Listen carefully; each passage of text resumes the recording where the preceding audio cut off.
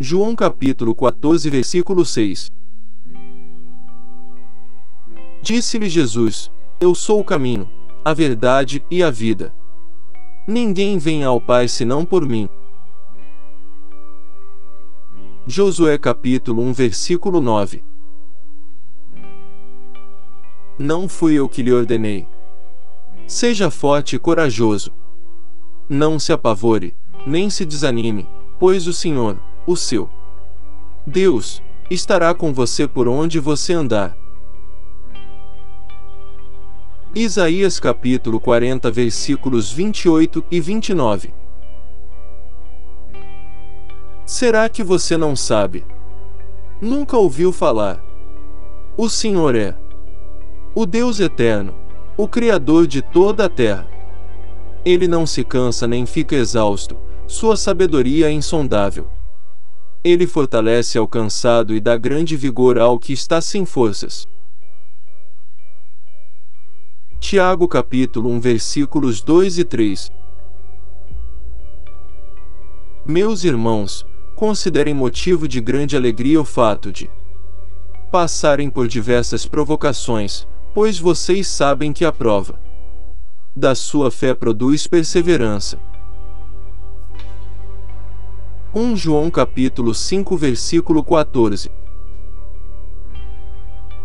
Esta é a confiança que temos ao nos aproximarmos de Deus, se pedirmos alguma coisa de acordo com a sua vontade, ele nos ouve. Tiago capítulo 1 versículo 12 Feliz é o homem que persevera na provocação, porque depois de aprovado receberá a coroa da vida que Deus prometeu aos que o amam. Isaías capítulo 40 versículos 30 e 31 Até os jovens se cansam e ficam exaustos, e os moços tropeçam e caem, mas aqueles que esperam no Senhor renovam as suas forças. Voam bem alto como águias, correm e não ficam exaustos, andam e não se cansam. Tiago capítulo 1 versículo 27 A religião que Deus, o nosso Pai aceita como pura e imaculada é esta: cuidar dos órfãos e das viúvas em suas dificuldades e não se deixar corromper pelo mundo. Salmos capítulo 23 versículos 1 ao 3 O Senhor é o meu pastor, nada me faltará. Deitar-me faz em verdes pastos, guia-me mansamente a águas tranquilas, refrigera a minha alma, guia-me pelas veredas da justiça, por amor do teu nome. Mateus capítulo 11 versículo 28 Venham a mim, todos os que estão cansados e sobrecarregados, e eu lhes darei descanso. Hebreus capítulo 11 versículo 1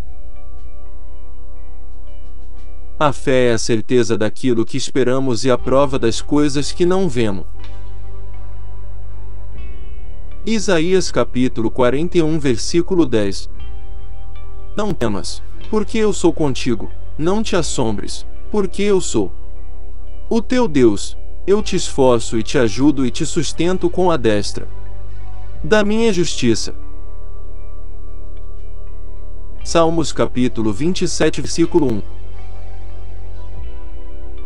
O Senhor é a minha luz e a minha salvação, de quem terei temor? O Senhor é o meu forte refúgio, de quem terei medo?